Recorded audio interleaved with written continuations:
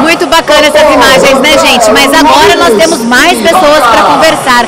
Eu vou conversar com o César, ele que é da Pinheirinhos Madeira e vai falar pra gente o prêmio que o senhor está recebendo hoje. Boa noite, César.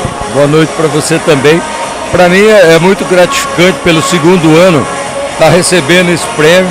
Isso aí é um fruto de trabalho de muitos anos e nós estamos aí fazendo um bom trabalho, é, mostrando o que é a qualidade em madeiras, madeiras rústicas.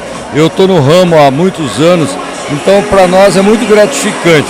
Eu e o meu filho junto, hoje passando para, vamos dizer, segunda geração, esperamos que passe para a terceira geração nesse, nesse trabalho. Como que é especificamente o nome é, que o senhor está recebendo hoje o título? Seria para móveis rústicos? Não, nós receb... hoje nós estamos recebendo dois prêmios móveis rústicos e madeiras e também é, a melhor madeireira de Arapongas. Então, para nós é muito gratificante isso aí. Já, seria, já, é o segundo ano consecutivo que o senhor recebe esse prêmio? Sim, é o segundo ano que nós recebemos e estamos gratificados por isso. E esperamos receber muitos mais, muitos mais prêmios. Isso daí é um trabalho que a gente faz, sabe, de, de coração. Eu, eu digo assim, nós fazemos o que seria para fazer na minha casa, eu faço na casa dos meus clientes. Isso, com certeza o senhor diria que é um diferencial?